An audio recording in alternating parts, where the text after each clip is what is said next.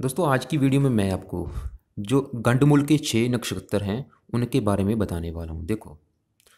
और सबसे पहली बात दोस्तों ये है कि सभी छः नक्षत्र जो गंडमूल के होते हैं, वो हमेशा आपको नुकसान नहीं देते। अगर आपका जन्म इसमें हुआ है छः नक्षत्रों में किसी में हुआ है तो सबसे पहले आप, क्योंकि देखो, एक नक्षत्र के चार चरण भी होते हैं।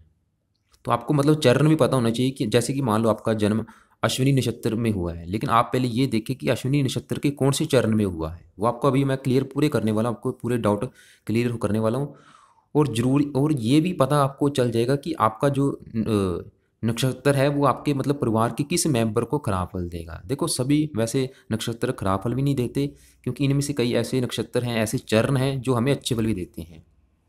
तो सबसे पहले तो देखो अगर आपका चंद्रमा अश्विनी नक्षत्र में बैठा है, अश्लेषा नक्षत्र में बैठा है, या मगा नक्षत्र में बैठा है, या जेठा और या मूला या रेवती नक्षत्र में बैठा है तो आपका जो जन्म है वो गंडमूल नक्षत्र में हुआ है। उसके बाद आपने ये देखना कि आपका मतलब जो नक्षत्र है, वो कौन से चरण में बैठा है। यहाँ पे देखो आप, अगर मान लो आपका जो जन्म है वो अश्विनी नक्षत्र में हुआ है तो उसमें देखो चार चरण होते हैं। अगर वहाँ पे देखो, एक नंबर लिखा, अगर आपके पास कुंडली आपकी बनी हुई है तो आपको ये पता आसानी से चल जाएगा।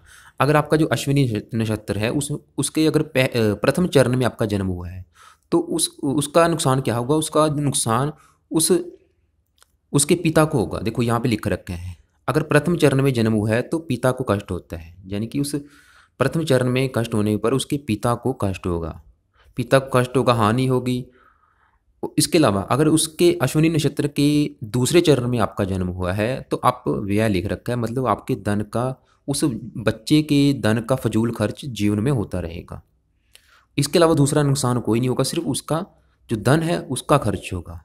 अगर उसके तीसरे चरण में, अश्विनी नक्षत्र के तीसरे चरण में उस बच्चे का जन्म हुआ है तो यहाँ पे देखो यात्राएँ लिख रखी है मतलब उसकी फजूल की यात्राएँ होंगी, उसके जीवन में फजूल की बहुत ज़्यादा बहुत ज़्यादा यात्रा होती रहेंगी। इसके अलावा ना तो उसके माता पिता को कष्ट होगा, ना किसी को कष्ट नहीं होगा, सिर्फ़ फजूल की यात्राएँ होंगी।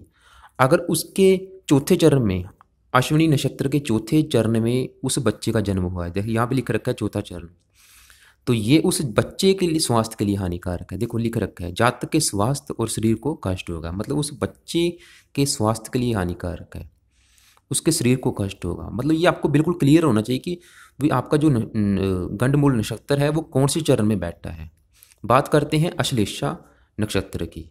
अगर आपकी, आपका जो गंडमूल है, अश्लेषा नक्षत्र में हुआ है तो उसके पहले भी देखो, अगर प्रथम चरण में हुआ है तो वो देखो लिख रखा है कि विशेष दोष कारक नहीं माना जाता कि अगर आपका प्रथम प्रथम चरण में हुआ है अश्लेषा नक्षत्र आपका और आपका जो चरण है, वो प्रथम है तो वो आपको मतलब नुकसान बिल्कुल नहीं देगा। यहाँ पे देखो लिख रखा है। दूसरा है, अगर दूसरे चरण में हुआ है तो आपके पिता की धन की हानि होगी। मतलब पिता के धन के लिए नुकसान करेगा दूसरा चरण। अगर तीसरे चरण में है अश्लेषा के तीसरे चरण में है तो आपकी माता को कष्ट होगा और आपके नान के पक्ष के लिए कष्टकारी है।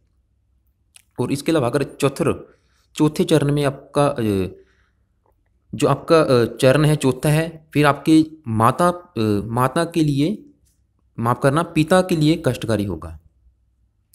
तो दोस्तों, मेरा कहने का मतलब यही है कि आपको मतलब बिल्कुल ये क्लियर होना चाहिए कि आपका जो गंडमूल नक्षत्र है, वो कौन से चरण में बैठा है।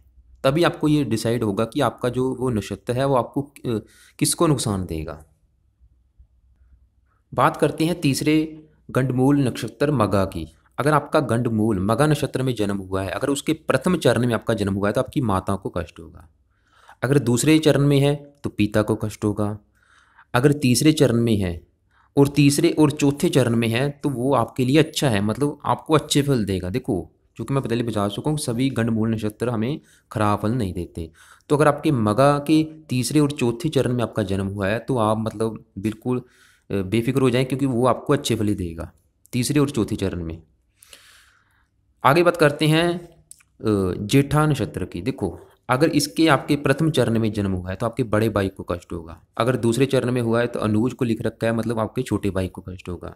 अगर तीसरे चरण में आपका जन्म हुआ है तो आपकी माता और पिता को, और अगर चौथे चरण में हुआ है तो बालक को कष्ट होगा। यानी कि पहले चरण में भाई को, बड़े भाई को, छोट, दूसरे चरण में छोटे भाई को, तीसरे चरण में आपके माता पिता को, और चौथे चरण में उस बात बच्चे को कष्ट होगा, जिसका ये गंडमूल जेठा नक्षत्र के चरण में बैठा है।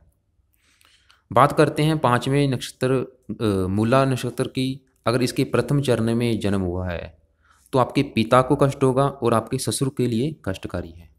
और दूसरे चरण में हुआ है तो आपकी माता को कष्ट होगा। और तीसरे चरण में जन्म हुआ है तो आपके माता पिता की धन की हानि होगी। देखो, सिर्फ़ उसके, आपके माता पिता की धन की हानि होगी, अगर तीसरे चरण में जन्म हुआ है, मूला के नक्षत्र के तीसरा चरण। अगर मूला नक्षत्र के चौथे चरण में बच्चे का जन्म होता है तो वह शुभ माना गया। देखो, लिख रखा है, शुभ माना गया मतलब वो आपको खराब फल बिल्कुल नहीं देगा, आपके लिए अच्छा है। बात करते हैं छठे नक्षत्र, रेवती नक्षत्र की। अगर इसके प्रथम, दूसरे और तीसरे चरण में बच्चे का जन्म होता है तो वो शुभ है। मतलब ये देखो अच्छा है आपके लिए, अगर इसके प्रथम चरण में, दूसरे चरण में और तीसरे चरण में जन्म होता है तो ये आपके लिए शुभ है। मतलब ये आपको खराब फल नहीं देगा। लेकिन अगर आपके चौथे चरण में जन्म हुआ है तो माता पिता के लिए कष्टकारी है। तो दोस्तों, मेरा कहने का मतलब यही है कि सबसे ज़रूरी ये कि आप, आपको जैसे कि आम पंडित वगैरह डरा देते हैं कि आपका गंडबूल में नक्षत्र में जन्म हुआ है तो आपके माता पिता को कष्ट होगा। मतलब पहले ही आप ये बिल्कुल क्लियर पता करें कि आपका आपका जो गंडमूल नक्षत्र है, यानी कि आपने ये देखना है कि चंद्रमा आपकी कौन सी राशि में बैठा है? कौन से? क्योंकि चंद्रमा को देखना पड़ेगा। ये चीज़ें देखने के लिए, गंडमूल नक्षत्र देखने के लिए हमें चंद्रमा को देखने का पड़ेगा कि चंद्रमा हमारा कौन से नक्षत्र में बैठा है। अगर वो इनमें से किसी छः नक्षत्रों में बैठा है तो आपका गंडमूल नक्षत्र में जन्म हुआ है। और उसके बाद आप ये देखें कि कौन से चरण में आपका जन्म हुआ है, जो कि आपको मैं बता चुका हूँ। इसके अलावा भी अगर आपको कोई मेरी बात समझ नहीं आती, आप मुझे व्हाट्सअप करके पूछ भी सकते हैं। तो दोस्तों मैं उम्मीद करता हूँ आपको ये वीडियो ज़रूर अच्छी लगी होगी। अगर वीडियो अच्छी लगी हो तो इस वीडियो को लाइक करें, ज़्यादा से ज़्यादा शेयर करें, ताकि दूसरे लोगों के पास ये जानकारी पहुँच सके। और अगर आप मेरे चैनल पर नए आए हैं तो मेरे चैनल को सब्सक्राइब भी कर लें।